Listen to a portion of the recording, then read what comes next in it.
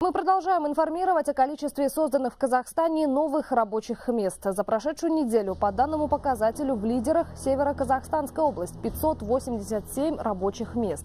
Немного отстает Алматинская 570, следом расположились Павлодарская, Жамбылская и Казалардинская области.